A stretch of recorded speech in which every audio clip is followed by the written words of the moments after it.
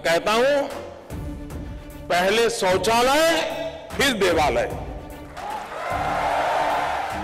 આવું પીએમ મોદી ગર્વભેર કહે છે એવી આશા સાથે કે ઘરે ઘરે શૌચાલય હોય ઠેર ઠેર શૌચાલય હોય ક્યાંય શૌચાલયની અગવડ ન પડે પણ સરકારી બાબુઓ એક ડિગ્રી ચડે એવા છે પીએમની વાત એમણે સાંભળી લીધી અને કચકચાવીને અમલ કર્યો શૌચાલયો બનાવી દીધા પણ બસ, બનાવી દીધા. અને પછી એને તાળા મારી દીધા. કદાચ એમને એવું હશે કે વડાપ્રધાને શૌચાલય બનાવવાની જ વાત કરી છે ને? તેના ઉપયોગની થોડી વાત કરી છે. જરા વિગતે વાત સમજીએ. આ જુઓ, અહીં દર્દીઓ માટે કરોડોના ખર્ચે બિલ્ડિંગ અને વ્યવસ્થાઓ ઊભી કરવામાં આવી છે. પણ આશ્ચર્યની વાત એ છે કે આ હોસ્પિટલમાં સાતસોથી વધુ શૌચાલયો બનાવવામાં આવ્યા છે, પરંતુ એમાંથી સિત્તેર ટકા શૌચાલયો બંધ છે.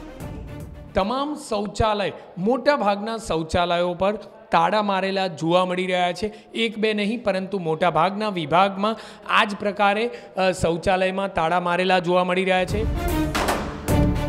સવાલ એ છે કે તિજોરી હોય તો માણસ તાળા મારી દે. પણ શૌચાલયો પર તાળા? ગજબ છે અધિકારીઓ અને ગજબ છે સફાઈ કર્મચારીઓ.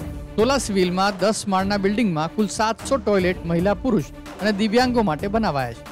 ગ્રાઉન્ડ ફ્લોર ઉપર એકત્રીસ અને બાર ઓપીડીમાં કુલ બેતાળીસ ટોયલેટ બનાવાયા છે, પણ મોટે ભાગે બંધ. હોસ્પિટલમાં આવતા દર્દીઓ અને તેમના પરિવારજનોને બાથરૂમ ટોયલેટ માટે ભટકવું પડે છે.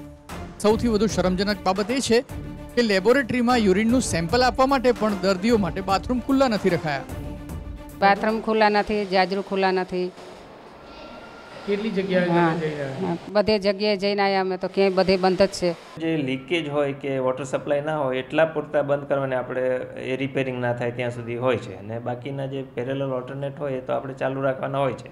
તો એવું બંધ હોય એવું ધ્યાનમાં આવશે તો અમે બધા જ ખોલાવી નાખશું.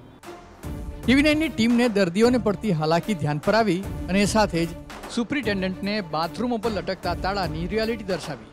હવે જોવાનું એ રહે છે કે શૌચાલયની સફાઈ ન કરવી પડે એ માટે સફાઈ કામદારોએ શૌચાલયો પર જે તાળા મારી દીધા છે, તેને ખોલવા હવે અધિકારીઓ આંખ ખોલે છે કે નહીં? Jignesh Patel, TV nine, Ahmedabad. TV nine ગુજરાતીની યુટ્યુબ ચેનલને સબસ્ક્રાઇબ કરો અને બેલ બટન જરૂરથી દબાવો, જેથી દરેક વિડીયોના નોટિફિકેશન તમને મળતા રહે.